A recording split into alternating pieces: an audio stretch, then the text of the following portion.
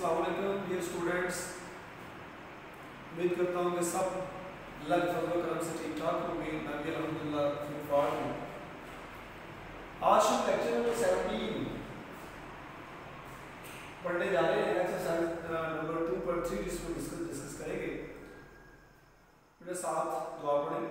आउज़ बिल्लाहि मिनश शैतानिर रजीम। बिस्मिल्लाह रब्बि इश्रह ली सदरी व यस्सिर ली अमरी वाहलुल उक़दतम मिन लिसानी यफ़क़हू क़ौली रब्बि ज़िदनी इल्मा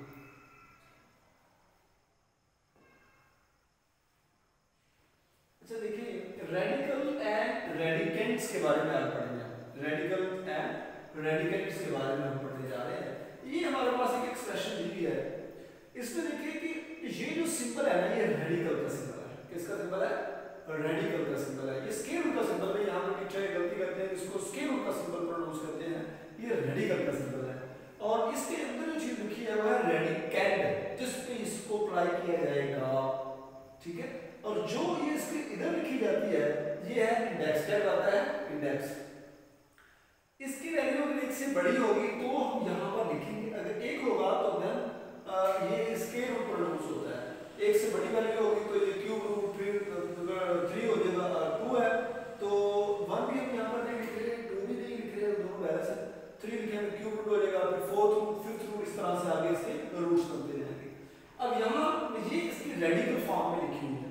अगर इसको पावर और एक्सपोनेंशियल फॉर्म में कुवत नमाई शक्ल में लिखें तो ये जो इंडेक्स है ना ये एक ही पावर में किस तरह लिखा जाएगा? वन ओवर एन की शक्ल में। ठीक है? वन ओवर एन की शक्ल में लिखा जाएगा। तो ये सिंपल थोड़ा सा इस, थोड़ा इसकी कंसेप्ट बैकग्राउंड थी कि हमारे पास रेडिकल रेडिकेंट रेडिकल फॉर्म और एक्सपोनेंशियल फॉर्म को यहाँ पे डिस्कस कर रहे थे। यहाँ पे इंडेक्स यहाँ बड़ा मैटर करेगा आगे सिंपलीफिकेशन पे। इंडेक्स के लिहाज से हमने सारी चीज़ें डिस्कस करनी है। अब इस एक्सरसाइज के सिर्फ़ तीन क्वेश्चन है 1 2 एंड 3 सारे के सारे पार्ट मैंने यहाँ पर लिख दिए। अगर पहले पार्ट को डिस्कस करें तो पहले क्वेश्चन को उसने सिर्फ़ इतना कहा था कि पहले क्वेश्चन को जो रेडिकल फॉर्म में है इसको एक्सपोनेंशियल फॉर्म में लिखी। जो एक्सपोनेंशियल फॉर्म में वो रेडिकल फॉर्म में लिखे। बस। यहाँ अगर देखें आप, सिर्फ़ ऐसा करना है कुछ नहीं ये एक्सपोनेंशियल फॉर्म होगी। इसकी जो ये जो ओवर में लिखी हुई है कि इंडेक्स की ज़रिए अब ये जो ऊपर है इसकी पावर में लिखी जाएगी तो ये रेडिकल फॉर्म हो गई अब यहाँ पे ऐसे ये जो लिखा हुआ है, ये। अब यहाँ बुक के ऊपर इसने ऐसे ही लिखा हुआ है तो अब ये स्केल रूट की शक्ल में लिखे सॉरी इंडेक्स इसका थ्री है तो ये फॉर्म अब यहाँ जरा देखें ये वाली कंडीशन क्या है ये जो थ्री लिखा हुआ है ना इसको तो आप इंडेक्स बना दें, दो करके। ये जो बाकी रह गया है, वो इसकी पावर अब आ जाए, इधर। उससे क्या ये होता है कि ये स्टेटमेंट जो चार लिखी है, ये ठीक है कि गलत है। अब इसका इंडेक्स कितना है? जिसका कोई इंडेक्स नज़र आ रहा है उसका टू होता है। ना तो ये वन और टू है वन और फाइव दोनों इक्वल नहीं है, इसका मतलब ये है रॉन्ग यहाँ इसका इंडेक्स कितना है? थ्री पावर नहीं है आप इसको अगर देखें, थोड़ा सा इसको सिंप्लीफाई करें अगर आप। टू की पावर टू तो ये इंडेक्स है तो इसको अगर नीचे लेके आए तो ये देखिए बिल्कुल सेम आ रहा है, इसका मतलब ये क्या है? टू तो ये देखिए, दोनों वैल्यू दोनों का इंडेक्स भी सेम है अगर वैल्यूज़ डिफरेंट है, ये कैसे सेम हो सकता है? इसका आंसर सेवन आना है, इसका आंसर तो बहुत थोड़ा आना थ्री पॉइंट समथिंग तो ये क्या है रॉन्ग ये दोनों इसको जरा डिस्कस कर लें। इसको लिखें। 27 और इसका इंडेक्स कितना है? 3 ये ऐसा कि इक्वल नहीं है, इसलिए ये सॉरी ये इक्वल नहीं है तो इसलिए मतलब ये रॉन्ग लिखा हुआ है, ये भी रॉन्ग ऐसे कंडीशन अगर यहाँ पर देखें तो ये दोनों इक्वल नहीं आ रहे. तो हमारा पास इसका काट के जवाब क्या आता है? नाइन तो इसके अकॉर्डिंगली अगर इसको प्रोसीड करें तो इसका मतलब है, ये x को माइनस x को 3 है तो ये रॉन्ग आ रहा है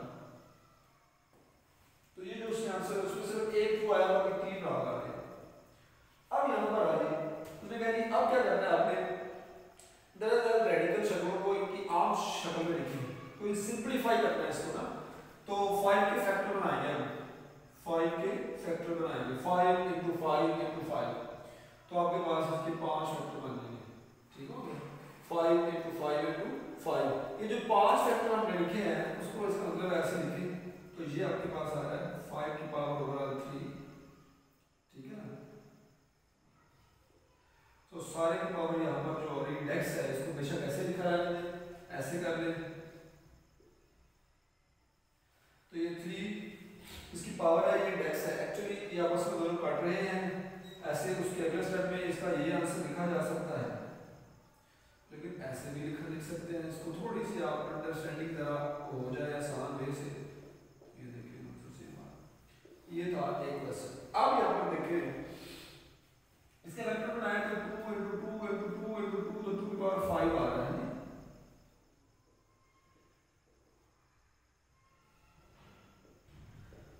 एक इंडेक्स के लिहाज से 2 पर 4 वाला अलग कर लें और एक सिंपल जो टू वाला का अलग कर लें पाँच है टोटल तो ये देखें ये दोनों कट के इसका इसका आंसर क्या आएगा टू और ये एट टू लिख लें बेशक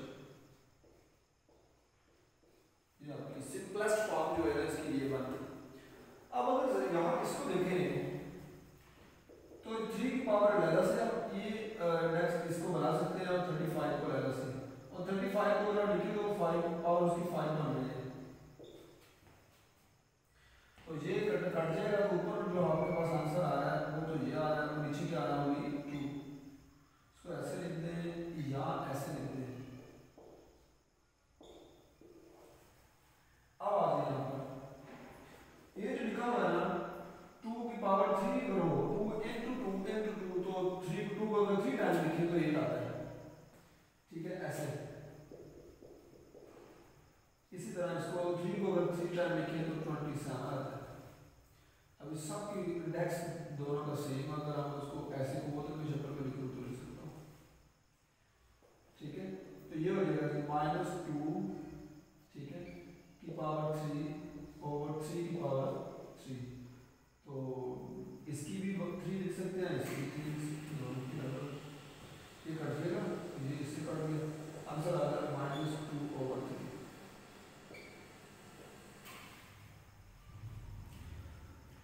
तो ये थी आपके पास जो एक्सरसाइज है एक्सरसाइज टू पॉइंट हमने यहाँ पर की है थ्री एक्सरसाइज है two point three exercise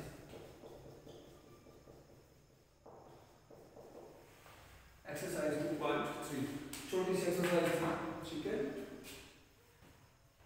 तो इसके साथ ही मैं लेक्चर को खत्म करना चाहूँगा। इसमें सिर्फ़ रेडिकल्स और अपने रेडिकल्स के बारे में आ, हमने इंडेक्स को अप्लाई करके देखा इंडेक्स की आगे ज़रूरत पड़ने साथ ही आज का लेक्चर का काम हुआ। अल्लाह हाफिज़।